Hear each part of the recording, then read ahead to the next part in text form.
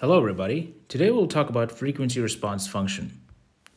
A frequency response function, or commonly known as FRF, is a function used to quantify the response of a system to an excitation normalized by the magnitude of this excitation in the frequency domain. So as the name suggests, it's a frequency-based measurement function. It is used to identify the natural frequencies or the resonant frequencies, damping, and mode shapes of a physical structure. So FRF is a transfer function between the input and the output. Basically, it is nothing but the ratio of output to a given input. Now, if I excite a structure, I'm giving an input, and the structure will respond by, you know, giving an output. So if I divide the output by the input, I get the frequency response function or the transfer function. So it expresses the frequency domain relationship between an input and output. Now, frequency response function is not dependent on time. So what is the purpose of FRF? Well, the main purpose of FRF is to solve noise and vibration discomfort. Now let's say you, you're inside a car and let's assume for simple case that the engine in an automobile is the main source of excitation. And let's say the chassis is the medium between the source and receiver. Of course, there are many more, but then let's uh, make it a simple case. Now, it is very important to ensure that the chassis does not resonate with the engine meaning the chassis will have a natural frequency of its own. And it's really important that the engine, as it is the main exciter, does not excite the chassis or does not provoke the chassis to vibrate at its natural frequency. Now, what will happen if the chassis starts vibrating at its natural frequency? Well, the consequence is either it can break if, if it's too weak or if the, the vibration levels are too high, or uh, in most cases, uh, you as a user inside the car will get the noise and vibration discomfort. So it's really not good to get those discomfort, especially when you're driving. You need to focus on driving. So that is the main purpose. We do not want to have high noise and vibration uh, excited by the engine. So there are different types of FRFs based on excitation. First is a structural FRF, wherein uh, the input excitation is enforced as in structural force, and the output is either displacement velocity or acceleration. So you're exciting the structure uh, and capturing the vibrations. The next is the acoustic FRF. Here, the input excitation is an acoustic force, meaning a sound source which you know interacts with an obstacle. It's also commonly referred to as volume acceleration, and the measured output is sound pressure. So this is the acoustical FRF. And combined FRF is you either give a structural or acoustic force an input, and the output is either acceleration or sound pressure. We'll study these in detail. So the structural FRF, you know, at the end of the day, FRF is nothing but output by input. So structural FRF is obtained by impacting a structure with an impact hammer. So because we're going to give a structural force, so we use an impact hammer and it stri and strike the structure of interest and measure the response of a structure with an accelerometer normalized by the injected force. So let's say we impact a structure with a hammer and then we have connected an accelerometer on the structure which is going to capture the vibrations. And the more important thing here is normalized by the force. So let's say uh, if we hit a structure with an impact hammer. Now, it is really difficult to have the exact same force every single time. I mean, we're only humans, so we can't get the exact same force every single time. So it will change. But then we have to make sure that uh, the change in the impact force should not influence our final result. So no matter how hard you hit or how gently you hit, you mean the denominator, how how hard you give the force or how gently you give the force, it should not, uh, you know, really change the acceleration, because then the the uh, the transfer function will become a function of the force. So in order to ensure that we normalize the force, and we'll see in greater detail in this video, but then simply put, we need to ensure that no matter how hard or how gently you hit, it shouldn't influence the final result. So the next is the acoustic FRF. It is nothing but you're impacting the structure with an acoustic force and measuring the sound pressure level. So in this case, you're not having any accelerometer connected, but rather you're, you know, when you excite the structure with an acoustic force, the structure is going to vibrate and those vibrations are going to create sound waves. We're capturing those sound waves. you know, and measuring the sound pressure level.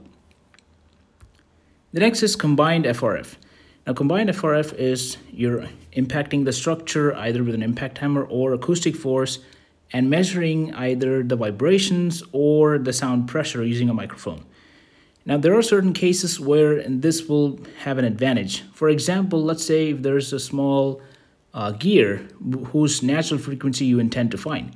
Now, you can't really use structural FRF because if you impact and you have to paste an accelerometer, now, let's say the gear is small and you connect an accelerometer, you might influence the readings because uh, the accelerometer will not only add weight to the structure and thereby, you know, make the readings wrong, it'll also prevent the structure from vibrating itself.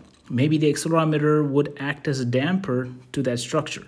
So it's not it's really not a good way to capture the natural frequency, but if we give an input impact using the impact hammer and then capture the sound waves emitted by that part, we can get an insight into the natural frequency of the structure. So in that situation, this method proves fruitful. The same with a bell. Let's say you want to find the natural frequency of the bell. You can connect an accelerometer provided the bell is huge, but then let's say if it's a small bell, you simply strike the bell with a clapper and measure the sound waves emitted by that part. It is the natural frequency of that bell. So let's talk about the experimental setup for FRF measurement. So let's say there is a test specimen, in this case it's a rectangular plate. So first, we connect the accelerometer on the point of interest. And then the accelerometer is connected to the data acquisition system. Then we connect the impact hammer to the data acquisition system. And we use BNC cables to connect the sensors. These are all ICP sensors and then we need to figure out the impact location. Where do you want to strike? And you have the workstation connected to the data acquisition system with a LAN cable. So now we'll be hitting uh, at different locations and measuring the response of the structure using that accelerometer. Now there are different ways to do this. There is a roving, roving accelerometer method and a roving hammer method. So roving accelerometer is you keep impacting at a same location, but then you just you know, move the accelerometer at different points in the structure. And roving hammer is place the accelerometer at one position and keep moving the hammer at different locations. And this schematic is representing the roving hammer method. So a few more things to know before starting a measurement is connect all the BNC cables properly, ensure the sensors are all calibrated, input the proper sensitivity value of accelerometer and hammer, and most important give proper directions for all accelerometers and also the direction of your hit of intended impact. Now directions become very important especially when you want to calculate mode shapes. If you uh, make a mistake in giving wrong directions and that can give totally different results when it comes to mode shapes. So keep an eye on that so, how do we excite a structure? Well, a structure can be excited in multiple ways. We know that there are different types of FRF, such as structural FRF, acoustic FRF, combined FRF, but we'll talk more about structural FRF. Let's say I want to Im impact, uh, uh, excite a structure, uh, you know, so by using uh, an impulsive signal. Now, an impulsive signal can be delivered using an impact hammer. The thing with using an impact hammer is that it requires good skill to deliver really good impacts by exactly striking once. Now, it so happens that many times when trying to hit at difficult locations, our hand trembles and we hit twice.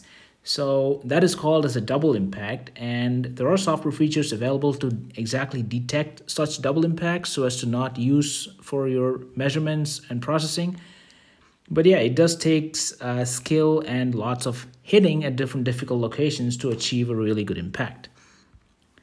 So why do we use an impulse signal? An impulse signal is characterized by being narrow in the time domain but pretty broad in the frequency domain. So when we, you know, use an impact hammer and strike an object, we're, you know, we're literally giving an impulse signal, so which means our frequency response is pretty broad. So we're exciting with a broad range of frequencies. We're giving broad, you know, multiple frequencies to the structure in a short span of time. And then we expect the structure to respond to that. So if you're exciting for, let's say, 0 to 1000 hertz, for example, this, and if the structure has a natural frequency somewhere in between, it's going to respond to that. So this is one of the reasons why we're giving an impulsive signal. So we're giving multiple frequencies and we're going to figure out what the how the structure responds to that input. Bandwidth is a difference between upper and lower frequencies. Now the input spectrum or the input force spectrum should be flat with versus frequency, meaning it should excite all the frequencies uniformly.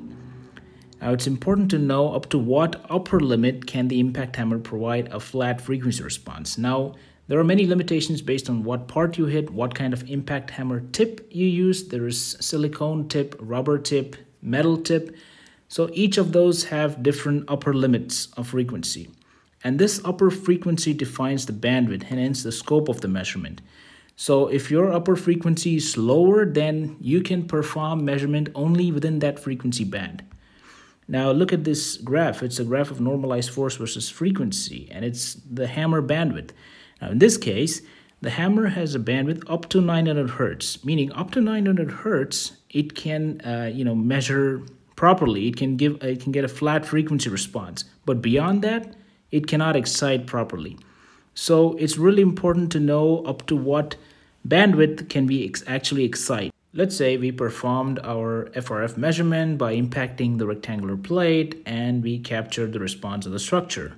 It'll look something like this. This is not an actual measurement, but it's shown for illustrative purposes. However, we can uh, get lots of information from this plot. First is we can get information on resonances. So if there are peaks in the plot, they indicate the presence of natural frequencies of a structure.